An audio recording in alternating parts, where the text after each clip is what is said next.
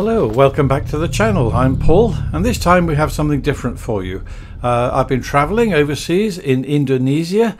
If you're not sure where that is, you can see it now. And uh, I visited the first motor museum in Southeast Asia in the city of Batu. And I thought I'd take you with me. I was surprised at the size of the museum. It has over 300 exhibits from the US and several European countries, including, of course, Great Britain. Let's get into it. For some of the cars, particularly the Europeans, they created some attractive street scenes which really set the mood. The first of those, as you can see here, is called Gangster Town. It's meant to reflect Hollywood and a number of suitable period American vehicles lining the street, as you can see. Next we went inside into the main exhibition hall, the very large building, the lighting wasn't the best, so apologies for the occasional lo loss of focus of the camera, but already there's a British car there as you can see. Uh, 1950s Riley, lovely thing. Most of the other exhibits here were American, but not all of them, so bear with me, uh, there's something for everybody here. And all of the cars in beautiful condition, many being polished while I was walking around. It's quite amazing. Now, of course, the cars in this collection reflect what was in the market in the location where we are. So, being in Asia, um, a lot of American cars from the early days. This one's a Chevrolet, particularly nice, very similar to a Chevrolet, a 1931 Chevrolet I owned. Um, beautiful cars. Next one is an interesting thing. This Velorex. I've never seen one of these before. Not surprising when you consider it's a three-wheeler from Czechoslovakia. These were made between the 1950s until 1971. Fascinating. The same company also made a sidecar which is still being manufactured to this day. Now here's a German beauty I'm sure some of you have recognised already. It's a Porsche 911 from 1972. To think I was 14 years old watching David Bowie on top of the pops when this was made and yet it still looks current incredible and quite beautiful. What a lovely motor car. Next up, another Brit, an Allard J2X. It says 1991 on the plate there, but according to Wikipedia, Allard manufactured the J2X from um, 1952 until 1954. X meaning extended. It had a 170 brake horsepower engine, so not a slow vehicle. If any of you can confirm the dates, that would be helpful, please, in the comments. It could be that this is a replica, of course. Next up, the legendary and beautiful Shelby Cobra. Uh, the British company AC uh, completed, painted and trimmed cars without engines or gearbox, sent them over to the east coast of the US, where Shelby installed a 4.7 litre V8 Ford engine. Now this is one where some of you might be able to help me out. Obviously a custom vehicle. No idea what it is. There was no signage. You can see lots of modern uh, indicators like the wheels. Uh, the seating obviously not vintage or classic. So uh, it was attractive nevertheless. So if you know what that is, please let us know in the comments. Next up an absolutely huge 1959 Ford Fairlane. I ran the camera along the length of it. It's not an optical illusion, it really was that big. Beautiful condition, but what a ridiculous thing. Imagine trying to drive that on a European road. No chance. But lovely all the same. Real piece of history there. And speaking of history, here's a little collection of Ford Model A's. These really were a significant car in motoring history. First the Model T, obviously we all know the first car uh, using mass production techniques pioneered by Henry Ford. In lovely condition this one, they're really quite difficult to drive. Now they didn't have the standard three pedal control layout that we've all become used to with old cars. However, here's the Model A. This one was the replacement for the Model T and had the more conventional three pedal layout, although at this point the accelerator was between the clutch and the brake pedals. Uh, I had the pleasure of driving a Ford Model A from 1928 a number of times a few years ago, uh, running tourists around in Hawke's Bay here in New Zealand, and um, it was quite a quick car because it was mostly made of metal. didn't have the big wooden frame that many cars of this period had. So they were very popular, very competitively priced, thanks to Ford's mass production techniques, and hence there are quite a number of them still around. Uh, you'll see lots of them on the road of vintage car clubs and clearly a good collection here with a number of different body options. This one a two-seat sedan with a dicky seat there in the back. Really quite beautiful. The Model A was launched in December 1927 and in the first two years sales hit 3 million. All in all, uh, production ended in 1932 4.8 million had been built by that time across all the different body styles. Quite phenomenal numbers. And this last one we're seeing at the end here is an open top Tourer Ford Model T, the earlier model. And now for something completely different, as Monty Python used to say, a 1963 Corvette Stingray. Every boy's dream, like a sci-fi uh, concept car, incredible thing. This blue one's a Corvette C1. It's the first generation of the Corvette, produced from 53 until 62. The most expensive C1 in history was sold for more than half a million pounds. Here I'm heading up the stairs to the uh, mezzanine layer upstairs. I love this first one. It's labelled as a Dodge Depot or Depot hack from the 1920s. Look at that. Fabulous condition too.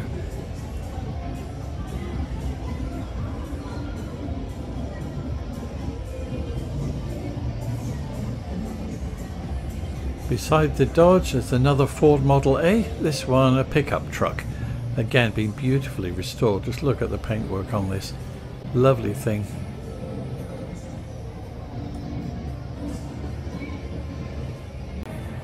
Now I had to show you this just because I've never seen one before. It's labelled as a quadricycle and apparently that's a replica. I wouldn't have known but uh, interesting all the same. Now if memory serves, this is the only Japanese car I saw there, Suzuki CV1 microcar, and of course a Heinkel Kabine. I think that had a different name in the UK. That completed the main hall and there's a few vehicles on the walkway to the next one. This uh, Chevrolet bus was the first. I've never seen one of those before. Interesting, very crude as you can see. Next, much more familiar, looking a little the worse for wear, 1957 Morris Traveller. And then a Mercedes truck. This one is a Mercedes 911, not to be confused with the Porsche. I don't think it would be.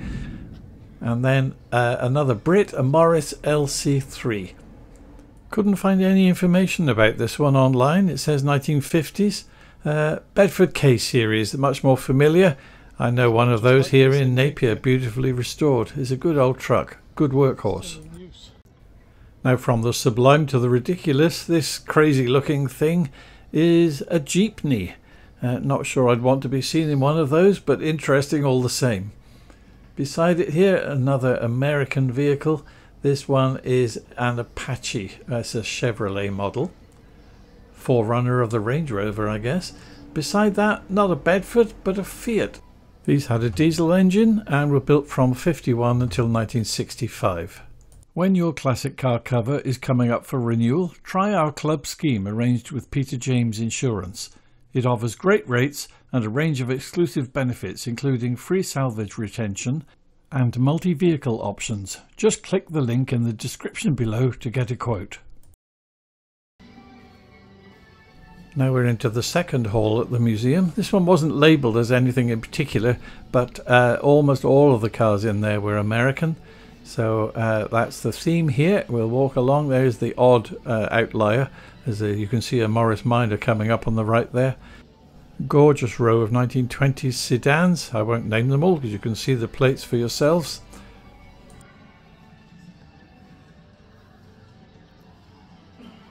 Then an enormous uh, I'll call it a people carrier truck. I'm not sure what that was. The blue one is a very large Chevrolet. And then um, a Toyota truck. This is interesting. I've not seen one of these before. 1967. I really like that. It looks like a giant Tonka toy, doesn't it? And next, a row of really beautiful American sedans. Uh, I won't name them all because, again, you can see the names on the plates under the grills here. But let's look at the styling. The chrome, the wings, they're enormous and really lovely. Beautifully kept too. Now take a look at this Nash uh, Ambassador. Doesn't it remind you of the Nash Metropolitan built in coordination with Austin? Very similar styling. There's a Chevrolet Standard 6. Look at the guy polishing away there on this Pontiac. They worked hard, these uh, attendants in the museum, and it certainly showed. Now we're into the next hall, and some Italians, starting with a Vespa. As you can see, this is one of the street scenes I mentioned earlier, providing a bit of atmosphere. This red and white car is a Fiat 1100cc. Don't know why it's painted like that. Maybe it was a taxi, but there was no signage to indicate that. Next up, this police car. Absolutely lovely Fiat 850 Sport. I do like that. Look how thin the pillars are. Gorgeous. Next there, an Alfa. Looking as stunning as you would expect an Alfa. Sorry, it was a bit gloomy here in the uh, Italian hall, so uh, if the picture's not up to standard, I apologise. Finally, uh, Another Fiat estate car. No prizes for guessing. This is the French Hall. Beautifully done.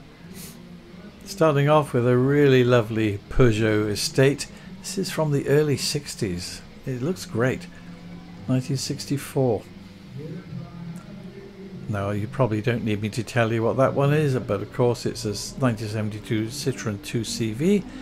Little more unusual for me anyway. This one's a Citroen Mehari, 1976. These were built in uh, two wheel and four wheel drive and had plastic bodywork to keep it light as a recreational vehicle. I was delighted to see one of my favourite classics of all time, of course, the Citroen DS. Stunningly beautiful, amazing car, real uh, innovations in terms of the technology deployed, and amazing to think that this replaced the Citroen Traction Avant which itself was a legendary car. And if you put the two side by side, it's as if they come from different centuries. Incredible. Now we move on into the German Hall, again a street scene, and first up a beautiful 190 SL Mercedes-Benz from 1961. Only an 1800cc engine, but what a car. Next to that, the W180 Mercedes. This is the one I think they call the Ponton. I really like these two. They're very distinctive. And just look at the interior. Quite stylish. And I know it's nerdy, but I love that steering wheel. Look at this little motorcycle, the red one. Love the name, the Zundapp Combinette. And they're still in business. Over here, the VW Karmann Ghia. Says 1968. Did they really make them that late? Well, I've checked, and yes, they did. They made them up until 1975. I'm quite amazed. It's a beautiful little car. I really like these. This one's a soft top, as you can see. Gorgeous. This beauty is a Mercedes 280S. This uh, model was introduced in 1968. In Indonesia, they were known as the Mercedes-Benz Mini, amusingly. Still a gorgeous car. Nothing very mini about it, in my opinion, but I do like it. Just look at the shine on that bodywork. Well done to the museum staff. Now back to the 1960s and the Mercedes 200. Very nice in its light coloured bodywork. I do like the interior. I just love the styling of these. Look at that. Gorgeous. Reminds me of the Vanden Plas models that came out of the UK. Very, very smart. Little wings there is a nod to the American fashions of the late 50s, early 60s. Gorgeous condition. Absolute credit to the museum. And lastly, not a German of course, a Volvo 164. It's got uh, taxi colouring, the black and yellow. Wonderful cars, the Volvos of that period, even though the colour is a bit garish for my tastes. An amazing Pullman 600, look at the length of that, followed by a Volkswagen 411 and then another Ponton. This is the 219 model from the early 50s. Finally, another uh, smart Mercedes. This is the 200, and then a 560 SL. Sorry, it's a quick look at those. I was in a bit of a hurry. Would like to have lingered longer over these last couple, but uh, there we go. And last, but certainly not least, the British room. Again, there's a street layout, rear quarter light there. Of course, this is the Anglia Estate from Ford UK. Very smart, looking quite tidy. So it's a 1959 vintage. Next up we're into the early 1970s and some unusual rear light protectors there. This one of course is an ADO 16, it's the Morris 1300. Slightly different front indicator lenses than we're used to seeing. Then the Mini with Mr Bean on the roof of course, uh, Morris Mini this one. It's a 1974. Next to that is um, a 1953 Vauxhall 104. This one done out as a taxi Lovely condition. Not sure about those shiny strips along the side. Finally, in the British Room, 1951 Austin A40 Devon. Not bad this one at all. Uh, I think the indicators aren't original. Some of the paint is slightly different, but overall in good solid condition. You don't see these very often. I love it. And then coming out of the British Hall is a very large and quite amusing Buckingham Palace uh, facsimile so that's it from Indonesia. I hope you've enjoyed it. Join us again next time. Thank you for watching and please remember to give us a like and subscribe if you haven't already. It helps support the channel and means you'll be notified when we post new videos.